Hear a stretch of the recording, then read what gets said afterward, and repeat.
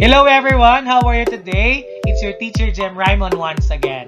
And this time, we will check your answers in the assessment and the additional activities part of your Module 2, particularly in the Lesson 1 entitled Finding the Volume of Cylinders, Pyramids, Cones, and Spheres. Are you excited to know your score for this part of your module? Hi everyone! Welcome to my channel, Tutorial by Sir Raymond. My name is Mr. Jem Raimonis Chen, Master Teacher 2 from Escalante Central Elementary School. Let's check first your assessment. Please get your piece of paper where you wrote your answer last time. Okay, let's have number one. Find the volume of this solid figure. Of course, obviously, this is a rectangular pyramid. And the volume of rectangular pyramid will be solved using this formula. Length times width times height divided by 3. Okay, let us substitute. Yung length natin dito class is equal to 8 meters. Yung width natin is 6 meters. At yung height natin is 12 meters. So, i-substitute natin yan. So, becomes 8 by 6 by 12. Okay? And divided by 3. So, multiply 8, 6, and 12 will give you, very good, it's 576 cubic meters divided by 3. And if you divide 576 divided by 3 will give you, very good, it's 192 cubic meters. So, this is now your answer for number 1. Number 2, that's a square pyramid. The square pyramid's formula is very good. Still length times width times height. But you can replace length times width to S times S. No? Kasi uh, yung length at saka yung width nila class is same lang naman ang dimension. So pwede natin yung i-replace ng ganyan. S times S times height. So substitute natin becomes 6 times 6, that's your side times side, and yung height niya is 10 decimeters. So, i-multiply natin yan, will give you 360 cubic decimeter. Yung 360, i-divide naman natin sa 3, will give you, yes, 120 cubic decimeter. Ito na yung final answer natin for number 2. Number 3, this is cone. And the formula of the volume of the cone could be?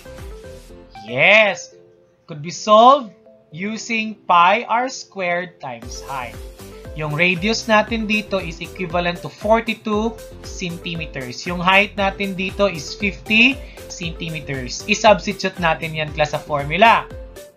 At ito na yan.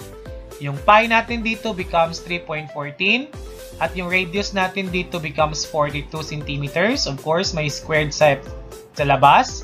And then the height is 50 centimeters. So, muna natin ito class kasi may squared siya sa labas. So, 42 times 42. Very good. It's 1,764 squared centimeters. Okay? So, copy yung 50, copy yung 3.14. Pwede mo na yung i-multiply lahat yan, class. At ang resulta ay, very good, 276,948 cubic centimeters. Ito na yung final answer natin for number 3. Okay, number 4, obviously, that's cone. And can you still remember the formula in finding the volume of a cone? Yes, that's one-third of the cylinder. And this is the formula in finding the volume of the cone. So we have here the radius as 9 meters and the height is 15 meters. And then, we will substitute yung pi dito class magiging 3.14. Yung radius natin becomes 9 here and in height we become 15 meters.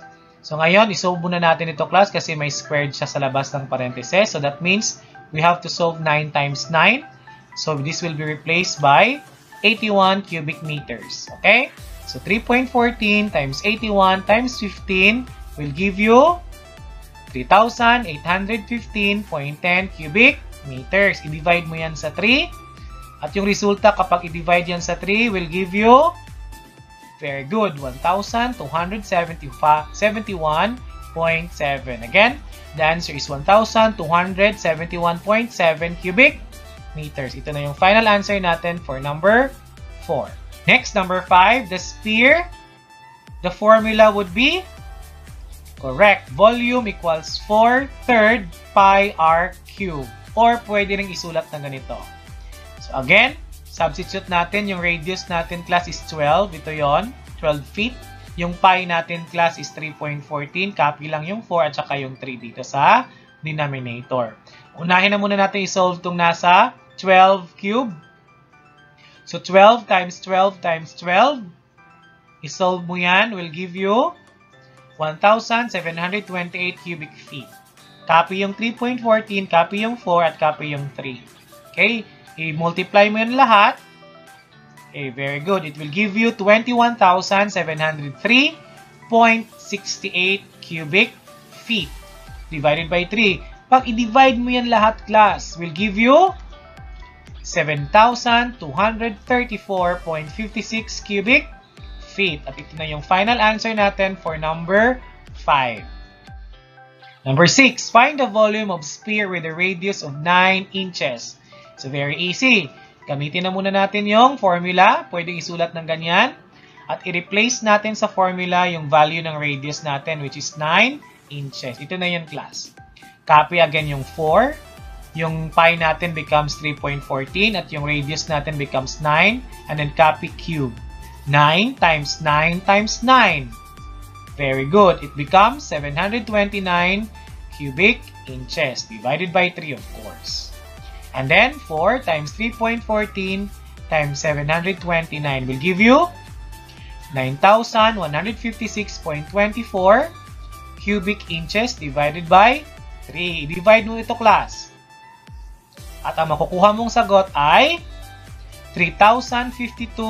3,052.08 cubic inches. Ito na yung final answer natin for number 6. Next, number 7. Find the volume of a square pyramid whose area of the base is 12 decimeter and the height is 25 decimeter. So, very easy. Let's use the formula base area times height divided by 3.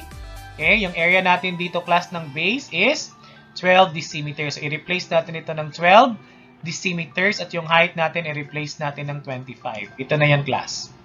Okay? I-multiply natin yung 12 times 25 will give you, very good, 300 cubic decimeter. I-divide natin sa 3. Yes, that's 100 cubic decimeter. Ito na yung final answer natin for number 7. Okay? Number 8. Find the volume of a cone with a diameter of 6 meters and a height of 7 meters. So, ito yung formula natin sa cone class. Yung diameter natin is 6, so ang i-replace natin dyan is 3. No? Half lang ng 6. Kasi diameter yan, radius ang kakailanganin natin. Yung height natin dito is 7. So, i-divide natin yan sa 3. So, again, let us substitute the data. So, yung pi natin dito becomes 3.14. Yung r natin becomes 3 kasi half ng 6 lang ang gagamitin natin. And then squared. Then height natin is 7 meters. And then divided by 3. Kunin na muna natin ito class, yung 3 meters squared. So 3 times 3 will give you, very good, it's 9. 9 squared meters, yung 3.14, 7 divided by 3. Okay?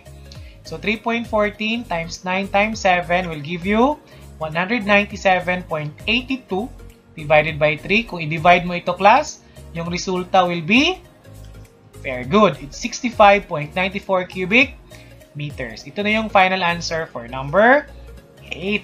Number 9. Find the volume of a cylinder with a diameter of 18 decimeter and a height of 21 decimeter. Ito na yung volume ng ating cylinder class. We have pi r squared times height. Yung diameter again ang given dito. So yung half niyan ang ating gagamitin na radius which is 9 decimeter. Yung height natin is 21 decimeter. Ito na yung class. Yung pi natin is 3.14. Yung radius natin dito is 9 decimeter. And then may squared nga. And then height will become 21 decimeter. So 9 times 9 will give you, very good, it's 81. Ito yung 81 class. Copy lang yung 3.14 dito at copy lang yung 21 decimeter dyan. Pagkatapos nyan, i-multiply mo lahat yan And the result will give you 5,341.14 cubic decimeter. Ito yung final answer natin sa number 9. And we have number 10. Find the volume of a cylinder with a radius of 1.5 meters and a height of 3 meters. Obviously, ito yung gagamitin natin kasi cylinder shape yung ating given na problem. Yung pi natin dyan will give you 3.14. Yung r natin dito is 1.5 nga. At yung height natin dyan is 3 meters. So, okay, since may square dito, unahin na muna natin ito kasi may exponent siya. 1.5 times 1.5, ang result niyan is 2.25 cubic meters. Copy yung 3, copy yung 3.14. Okay? And then, solve all together, multiply. Then the result will give you 21.195 cubic meters. Ito na yung final answer natin for number 10 in your assessment. Okay, what's your score in your assessment? I hope you've got a very good score on your assessment. And this time, let's have the additional activities part of your module. Now, here's the situation. In a grocery store, spaghetti sauce is sold in cans in different sizes as shown below.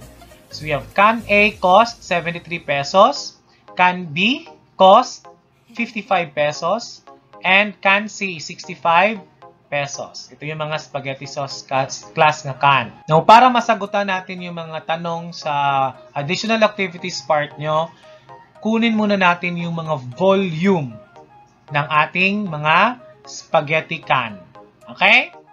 Yung mga cylinders natin, class, mga lalagyan ng spaghetti sauce.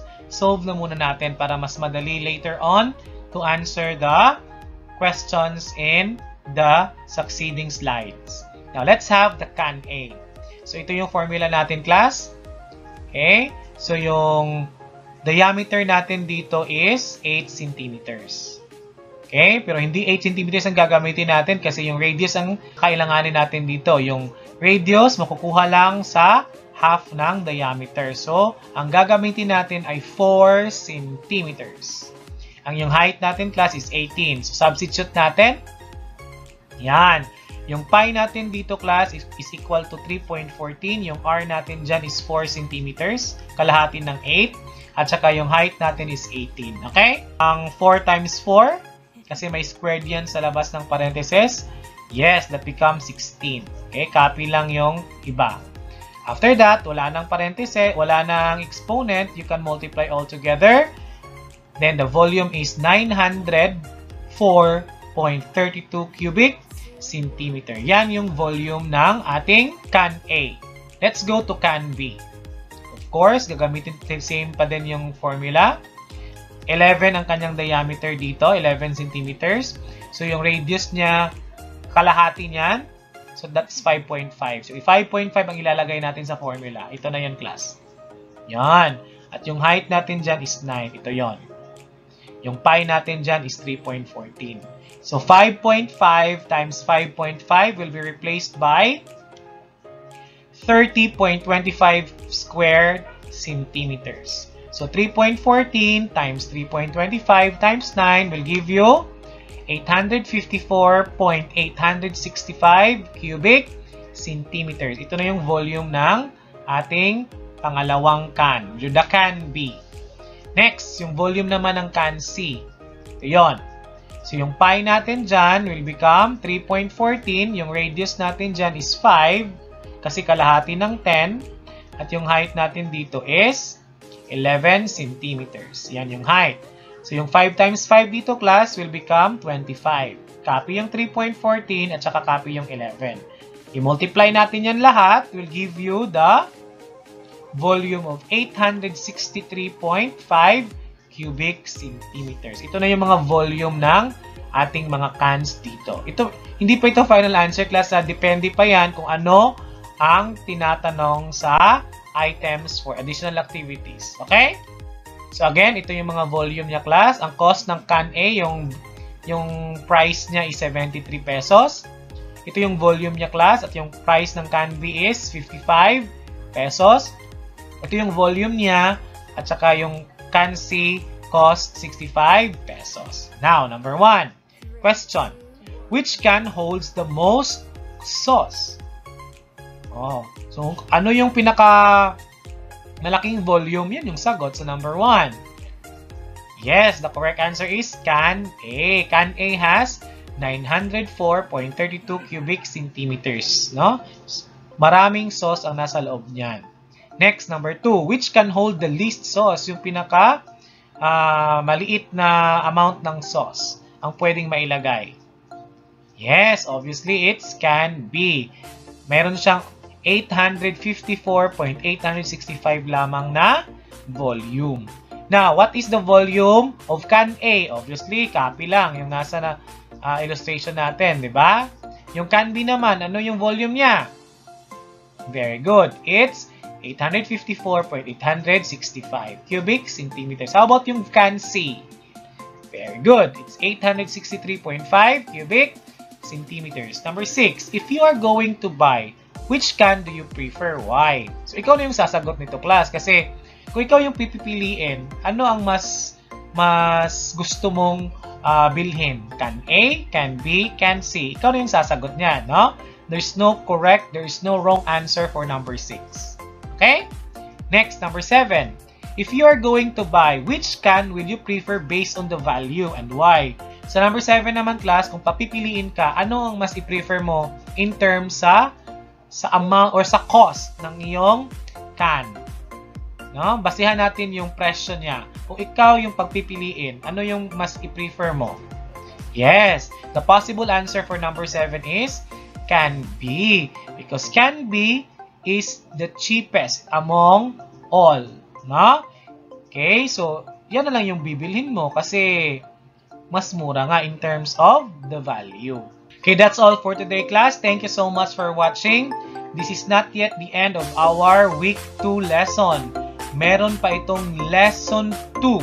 No? And this is all about solving routine and non-routine problems involving volumes of solid figures.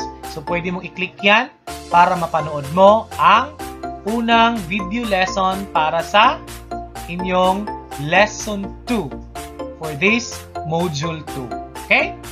See you next time, everyone!